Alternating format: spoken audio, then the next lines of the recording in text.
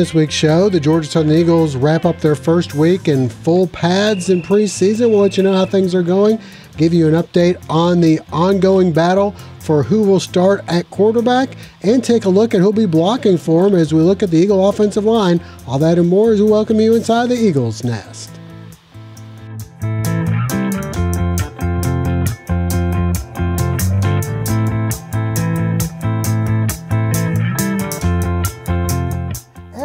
To another week of the Eagles Nest. I'm your host, Josh Aubrey, being joined by Mike Anthony, sports editor and Georgia Southern beat writer for the Statesboro Herald. And we appreciate Mike gutting through uh, what's been a, a, little bit under the weather this week. It's 95 degrees, so of course you get a cold. of course.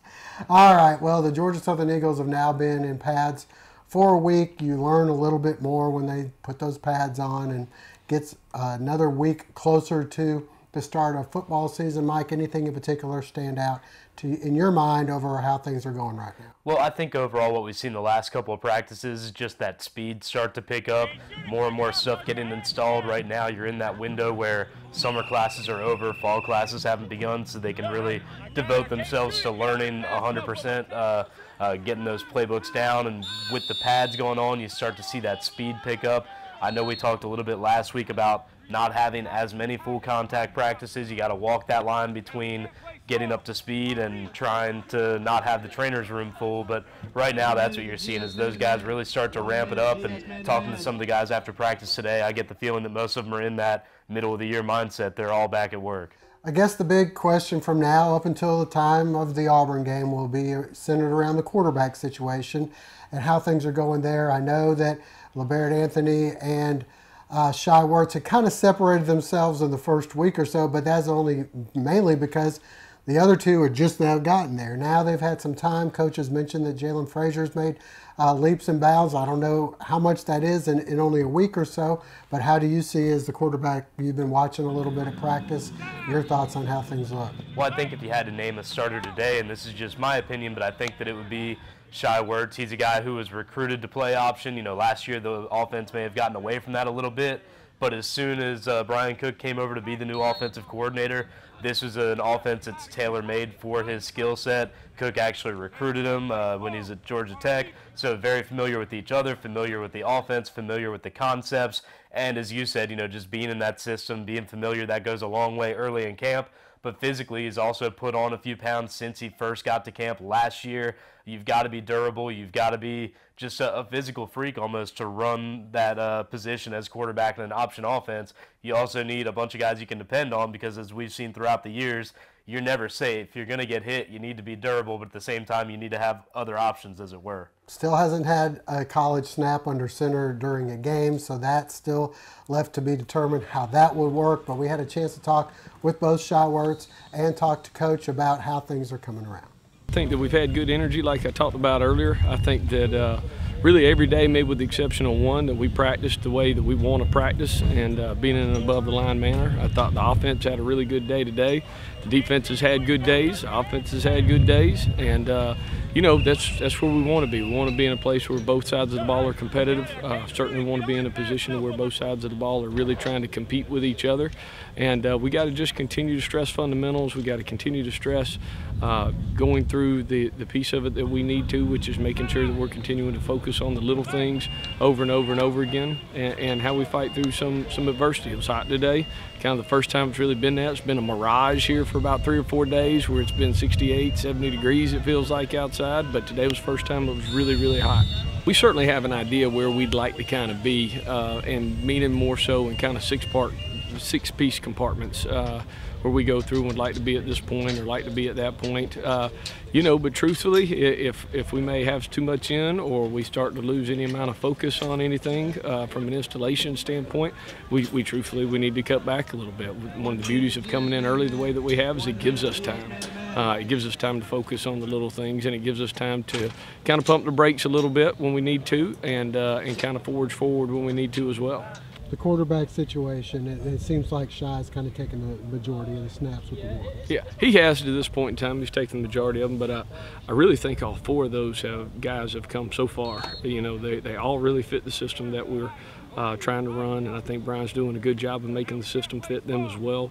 Uh, I think the coach Cook has really done a good job and has a good relationship with those guys uh, for what they're trying to do. They can all run it really well. Uh, we're, we're, certainly in a position where I think some of them throw it better than some of the other ones do right now. But being able to be a dual threat quarterback and be explosive, take a broken play in some situations and make it a big play, uh, those are the things that we've been able to, to focus on. Shai has taken the majority snaps of the ones, but LeBaron has had a really good camp. And I think that every day, every day, I think you see that Cato and Jalen are both coming on. And uh, Jalen looks so much farther ahead than he was three days ago. And obviously, you know, Cato comes in here and having some option background, some experience, and, and really manages the ball really well. I feel like it's, it's, definitely going pretty good. You know what I'm saying? We had a lot of stuff in the spring that we put in camp, just adding a little, just a little bit more to it. But uh, I definitely feel like it's going in the right direction. For you, how do you feel like you know your progress is going, catching on to things? Oh, it's definitely going good. You know what I'm saying? Coming to the fall camp, of course, you know what I'm saying? We had the spring that Coach Cook put in the offense, and uh, good, like I said, just now just, he's just putting a little, little bit by a little bit in and teaching me, you know what I'm saying, all the, all the right reads, all the right, you know what I'm saying, mechanics and stuff like that, that I need to uh, run this offense. Uh, where I feel the most comfortable, uh, I don't know, I just, out of the pocket, you know what I'm saying, um, getting me outside of the pocket, outside of the tackle, being, being, being able to make throws on the run. And where I feel like uh, I need the most work is to send back in the pocket, um, and and allow things to come to me. You know what I'm saying? Not forcing it. And uh, if it's not there, don't force it. Just take off and run. Mr. Tracy Tracingham, he taught to us last night, and uh, you got to come to work every day. You know what I'm saying? No matter where you're on the depth chart, you got to be able to come out here and be able to lead your team at the quarterback position because all those guys, the offensive line, the running backs, receivers, they look they look to you to to, to, to take command of the whole offense. So you got to be the guy that, that's always calm, always relaxed, always know what you're doing. It's being on top of everything and having seen, you know, the guys before you, maybe mm-hmm. you saw some things that that you want to be like mm-hmm. with Kevin and Fabian and those guys. Maybe there's something that you learned that mm-hmm. they did that maybe you want to stay away from. Any quarterback who who play the next season is going to be compared to Kevin and Fabian. Uh, but me personally, I want to be my own person. Um, but I, I, definitely learned a few things for them that I'll, I'll, put into my, I'll try to put into my game. And uh, it's some things that they did that, you know what I'm saying, try to stay away from. But like I said, you know what I'm saying, I'm, me personally, I want to create my own legacy as, as a Georgia Southern quarterback. Well, Mike, whoever comes out from this as the starting quarterback will have benefit from uh, pretty revamped offensive line. A lot of the same guys are around, but the philosophy is a lot different. The coaches are obviously different. You've got a guy that's leading the offensive line in Bob Bodine, who's been here before and has also been extensively with an option uh, base, whether he's been the offense coordinator or the offensive line coach.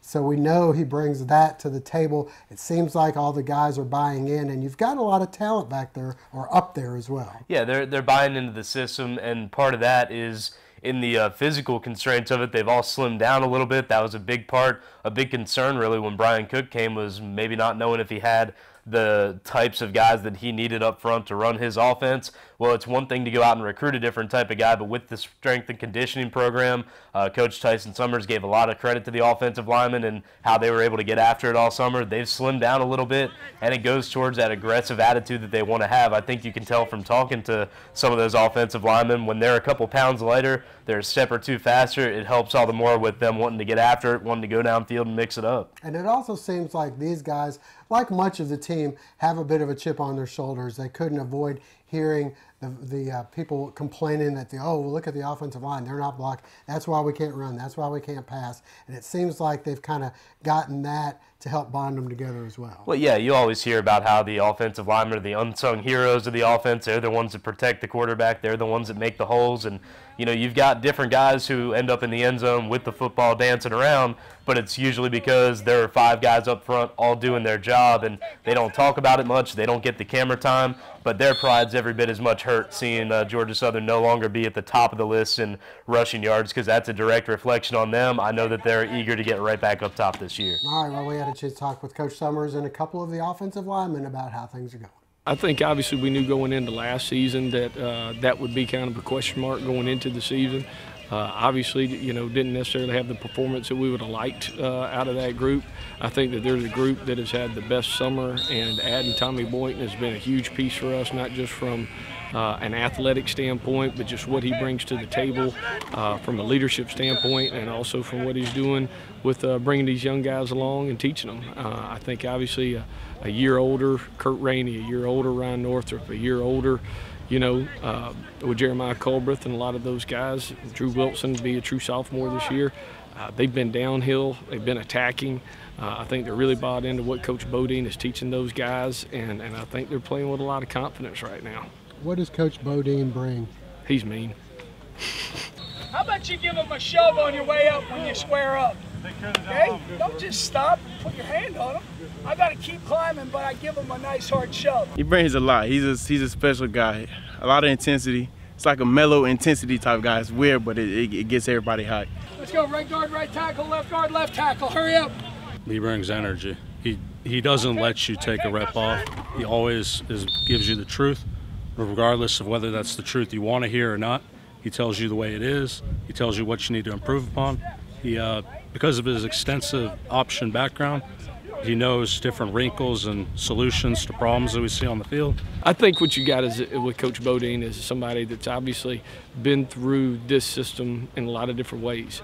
Uh, he's a guy that's been in the gun option piece before, a guy that's been under center on two or three different staffs. Most of those people either being on Coach Johnson's or part of uh, one of Coach Johnson's kind of disciples, so to speak. And and so you get to this point where he's been a coordinator as well in both of those systems, and now he's he's uh, he's a line coach. Uh, I think he's really happy he and his family to be here in Statesboro coaching these guys, and I think he's doing a great job with not only technique but effort and toughness. I mean, and at that position, if you can play smart, if you can play physical, and that that style and that brand of play that you know that I've become accustomed to seeing really over spring practice in the first seven days to now, what an awesome sight.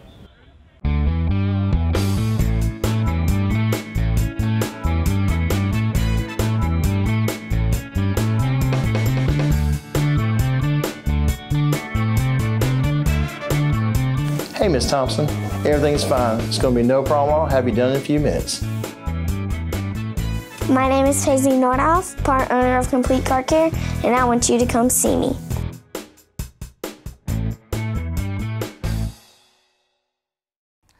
And one final note before we go, Mike, we have the Fan Fest coming up on Friday evening.